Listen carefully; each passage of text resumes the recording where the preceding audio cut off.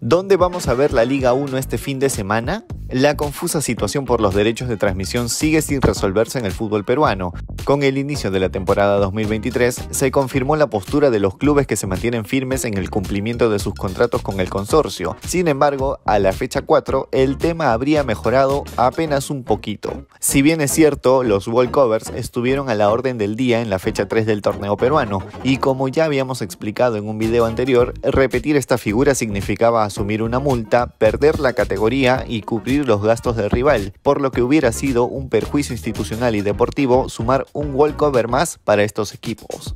Para esta nueva fecha, los equipos han acordado presentarse a jugar, pero sus partidos no serán transmitidos ni por televisión ni por radio, algo inédito en el fútbol contemporáneo. Lo más curioso aún es que estas instituciones tampoco transmitirán sus partidos ni por sus redes sociales o canales propios, otro hecho sin precedentes. De esta manera, los aficionados no tendrán forma de seguir los partidos en tiempo real, salvo vayan al estadio, pero como es sabido, hay regiones en las que no existen garantías para que los partidos cuenten con público dada la coyuntura social y política. El motivo por el que estos clubes decidieron no transmitir sus respectivos partidos es debido a la medida cautelar impuesta por la Federación Peruana de Fútbol que explícitamente prohíbe que sus partidos sean transmitidos por Gol Perú, generando un problema para las marcas que auspician a estos clubes, a los jugadores, al mismo contrato por derechos de televisión, a los negocios en torno al fútbol,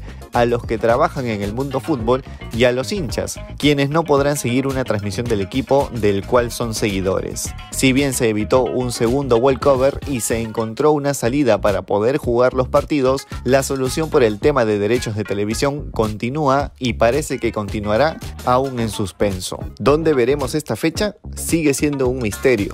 Ni siquiera sabemos si al final de la jornada tendremos un resumen para enterarnos de lo que sucedió en los encuentros.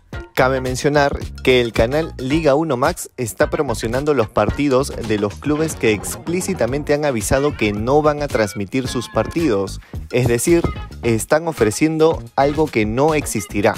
Recuerda suscribirte al canal, activar las notificaciones y dejar tu me gusta para estar siempre informado con nosotros.